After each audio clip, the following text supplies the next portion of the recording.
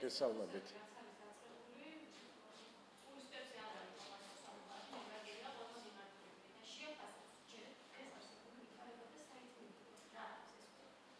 ქვეყანა დგას საკმაოდ საშის ზღვარზე დესტაბილიზაციის და ეს არაფერ შემთხვევაში არ უნდა დაუშვათ. და ჩვენ ხედავთ რომ ერთ მხარესაც და მეორე მხარესაც პოლარიზაცია ძალიან კაფიო და ძალიან კвеთრ კონტურები შეიძინა და საჭირო არის ამის განმოხტვა იმისათვის რომ ქვეყანაში იყოს სტაბილურობა და იმისათვის რომ გაუკლავდეთ რუსეთთან რუსეთის მიერ დაწყებულ ეკონომიკური ომის შედეგებს, რომელიც უფრო და უფრო მზარდი ხდება დღესდღეობით.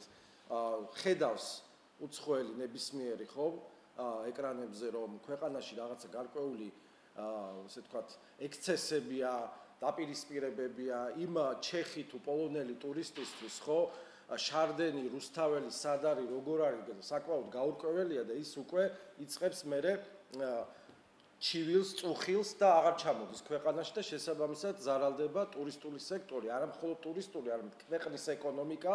ხედავთ ლარის კურსზე რაც ხდება, შოკი და გარკვეულწილად შემდეგაც შეიძლება თუ აღარ შემოვიდნენ ტურისტები, ამიტომ მე ვხედავ ასეთ გამოსავალს, ჩემი პირადი მოსაზრებაა, რომ საჭირო იქნება ალბათ ავტორიტეტური დასავლელი მედიატორების, არბიტრების ჩართვა. ქონია საქართველოს უახლეს ისტორიაში ასეთი პრეცედენტები, სამწუხაროდ შეიძლება მოგვიწიოს, შეიძლება არ მოგვიწიოს, ვნახოთ, მაგრამ მოლაპარაკებათა მაგიდასთან დასხდომა აუცილებელია იმისათვის, რომ მე მესმის ასევე კონსტრუქციულად გაწყობილი ცირე რეიტინგული ოპოზიციური პარტიებისგან, რომ შეიძლება თქვათ პროცესები იქამდე მივიდეს, რომ გამოცხადდეს ვადამდელი არჩევნები არსებული სისტემით და დავემშვიდობებით მე ამ 0%-იანი ბარიერის შემოთავაზებას. რაც ასევე მიუღებელი, იმიტომ რომ 0%-იანი აუცილებლად უნდა გამაგდეს, გამტკიცდეს და მთელი რიგი სხვადასხვა საკანონმდებლო ცვლილებები მოყვეს ამას, იმიტომ რომ ის ასე ვთქვათ, ეს ინიციატივა საჭიროებს ამ ბევრ ცვლილებას. კანონებში.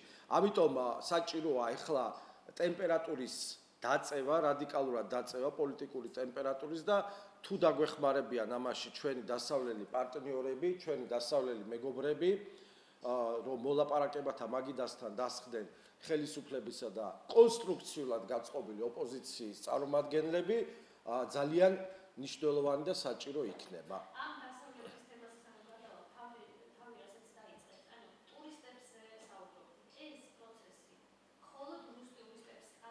გასაკვირველი არ ეხება.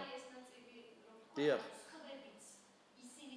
გასაკვირველი არ ეხება, იმიტომ რომ როდესაც ქვეყანაში მიდის ნებისმიერი ადამიანი დასასვენებლად, ხო, წინასწარ ხო ინტერნეტში უყურებს რაღაცას, ან ტელევიზორში და მას თუ ეკრანებზე აქვს ის სურათი, რომ ქვეყნის ცენტრში, ქვეყნის დედაქალაქის ცენტრში არის დაპირისპირება, არის შეჯახება, პოლიციელებზე თავდასხმა, შემდეგ მომიტინგეებზე, ასე ვთქვათ, არაადეკვატური და არაპროპორციული ძალის გამოყენების ცალკეული შემთხვევები, რასაც აღიარებს უკვე ხელისუფლება და იძიებს.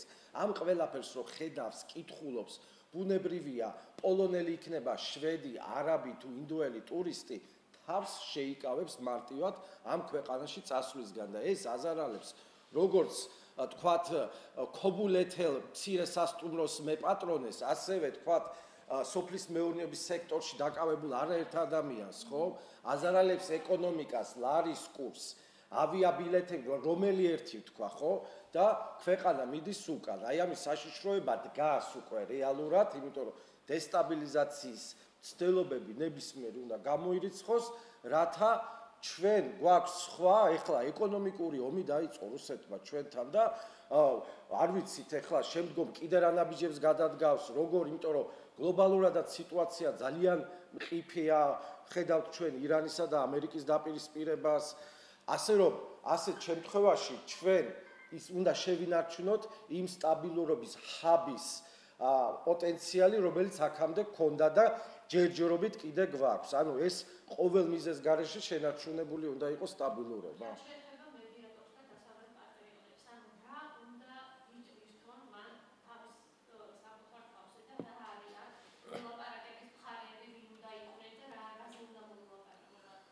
ბუნებრივია საპარლამენტო, ასე ვთქვათ, ფორმატში, ხო, მე იმიტომ რომ ეს ლეგიტიმურობა რო შენარჩუნებულია, ვიცით და ვხედავთ, საპარლამენტო ფორმატში უმრავლესობა, უმცირესობა დასხდნენ ილაპარაკონ რა არის, ვთქვათ, მისაღები, რა არ არის მისაღები და როგორც ხდება ხოლმე მედიაციით, ფასილიტაციით, რომ პოზიციების შეჯერება მოხდეს და ოპტიმალური გამოსავალი მოლაპარაკებების პროცესში მივიღოთ. ამის ფორმულას ჯერჯერობით ვერავინ ვერ დადებს, რა როგორ იქნება ეს მოლაპარაკებების პროცესში ყველაფერი გამოიკვეთება, როცა უკვე ავტორიტეტული, თქვა, პიროვნება, პიროვნებები ევროპიდან თუ ამერიკიდან ჩამოვლენ და ასე ვთქვათ, მოახერხებენ, რომ პირისპირ დასვან მაგიდასთან დაპირისპირებული მხარეები.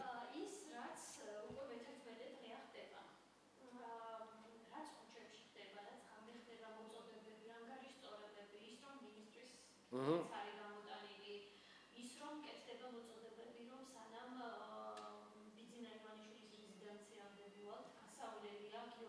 გიორგი გახარის სახლი და გამარჯვებია იქაჩი. ეს ყველაფერი არის სამართლიანი საზოგადოების და ახალგაზრდების მოთხოვნა კონსტიტუციურ ფორმატში. რა არის ეს ყველაფერი რაც დღეს პროტესტის გამოხატვა ნებისმიერ მშვიდობიანი ფორმით ყველა ქვეყანაში მისაღებია.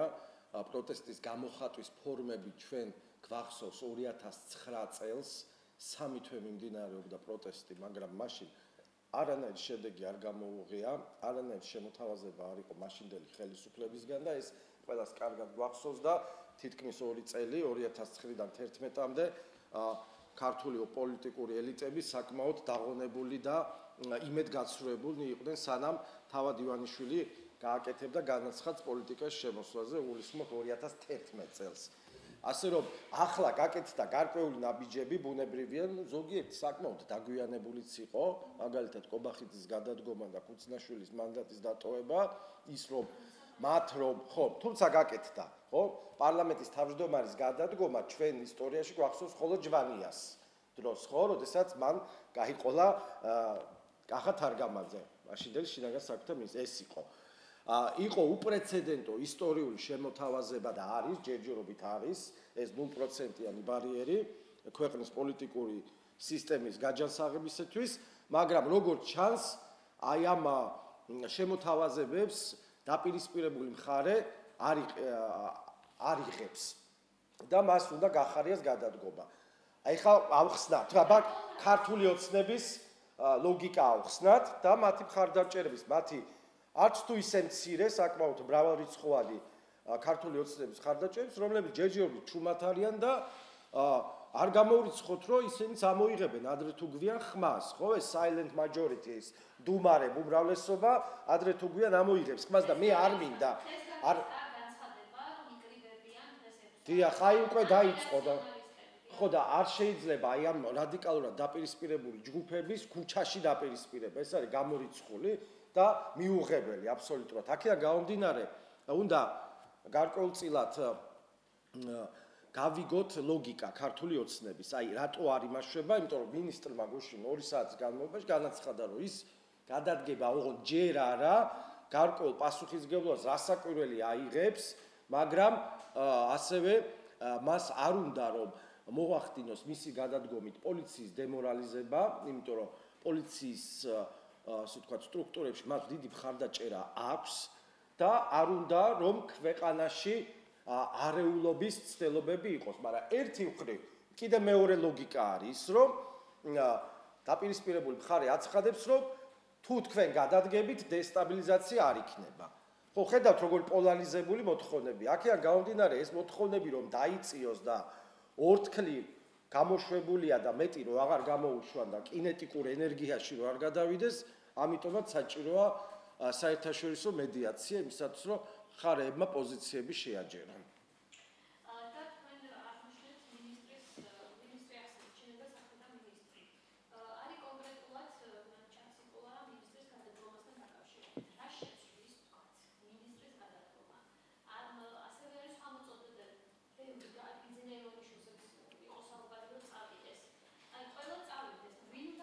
ხო, გასაგებია, ესე იგი დესტრუქციულ პოლიტიკურ ძალას, ნაციონალურ მოძრაობას, რომელიც იყენებს რა ამ პროტესტებს თავისი რევანშიზმისთვის და თავისი დესტრუქციული ქმედებებისთვის, რომელსაც უკვე რამდენიმე წელი ამას ახორციელებს, ის იყენებს. და არის მოლოდინი, ვარაუდი, რომ მხოლოდ გახარიას გადადგომით არ დამშვიდდებიან და ბოლომდე შეეცდებიან, რომ სათითაო თქვა ან ministrები გადააყენონ დანიშნონ ვადამდელი საპარლამენტო არჩევნები თავიდან თქვეს, მერე გადათქვეს, მაგრამ უყურეთ ვადამდელი საპარლამენტო არჩევნები ზუსტადაც რო აწყობს როგორც ქართულ ოცნებას, ერთო ნაციონალურ მოძრაობას, ორ დომინანტ პოლიტიკურ მოთამაშეს ქართულ პოლიტიკურ სივრცეში. ეს არ აწყობს სხვა ცირე მასშტაბიან, ცირე რეიტინგულ კონსტრუქციულ პოლიტიკურ ოპოზიციას და მათ ისინი ხმათი ხმა პარლამენტში დაიკარგება, იმიტომ რომ მათ უკვე განაცხადეს, იყო 6 პარტიის ერთობლივი განცხადება, რომ ისინი ითხოვენ, რომ დაიწყოს მოლაპარაკებები ამ 0%-ზე, მაგრამ ვადამდელი, ანუ შემდგომი კრიზისის შემთხვევაში თუ კიდევ იქნა, რომ გახარია გადადგეს, შემდეგ თქვა თავრობა გადადგეს, შემდეგ კიდე ხო შეიძლება სხვა მოთხოვნებიც იყოს, იმიტომ რომ ესე თქვა ასეთ პროცესებში მადა ჭამაში მოდისო, როგორც იტყვიან ხალხურად, ამიტომ ამას არ დაუშვებს ხელისუფლება და არც მისი მხარდამჭერები. ეს ჩანს უკვე.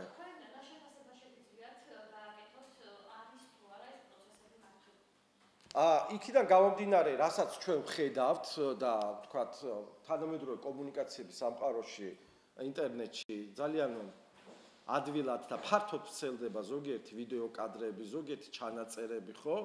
ჩვენ ვხედავთ, რომ იქ რასაკვირველია არიან და ეხლა რამდენიმე იქ არის გულა გულახტილი გულწრფელი პროტესტის გამომხატველები ადამიანები, რომელსაც პოლიტიკასთან საერთოდ არა კავშირი და არც იცის ვინ ვინ არის იქ, მაგრამ იქ ხედავთ ჩვენ რომ იქ რაღაცა მოწყობილი ეგრეთ წოდებული ფილტრი კორდონი, გასაუბრების დერეფანი, სადაც ვინ რა სიტყვის გაივლის და იმ გასაუბრების დერეფანში განან ნაც მოძრაობისა და ევროპული საქართველოსა და მათ სატელიტების ასე ვთქვათ პოლიტიკური ლიდერები და ამ ასე ვთქვათ გასაუბრების დერეფანში ატარებენ ვინ გავა და ვინ არ გავა, ხო? გასაგებია, მაგრამ ასევე არ დაგვავიწყდეს, რომ იქ არიან ძალიან გულწრფელი ადამიანების და ძალიან ფართო საზოგადოების წარმომადგენლები, რომელსაც საერთოდ არ აინტერესებს ეს პოლიტიკური ძალები, რომლებიც იქ არიან, მათ დაუგროვდათ სხვადასხვა პრობლემები, წლებია და ეს ტრიგერი იყო ერთგვარი გავრილოვის ავს სამარცხვინო შეყვანა პარლამენტში და ამ ყველაფერმა ერთად იფეთქა. აქედან გამომდინარე, აზვირთ და ეს ყველაფერი დაპერწკალი ჭირდებოდა და ეს დაპერწკალის როლი შეასრულა გავრილოვი და იუზი უპასუხისგებლო პოლიტიკოსებმა, რომლებმაც ის ჩამოიყვანეს და პარლამენტში შეუშვეს, აი ამ ყველაფერმა ეს გამოიწვია და ეხა ამ აზურთებული კრიზისის დროს საჭიროა დავწიოთ სტაბილურობა გვინდა, ეკონომიკაზე ზრუნვა გვინდა, ლარზე ზრუნვა გვინდა და ასე თქვათ ქვეყნის წინსვლაზე ზრუნვა გვინდა. მეტი სხვა არაფერი არ გვინდა ეხა, არანაირ თქვათ შემდგომი გამწვავების პროცესები კატეგორიულად უნდა გამოირიცხოს იქეთა ჯგუფი იქნება თუ აქეთა.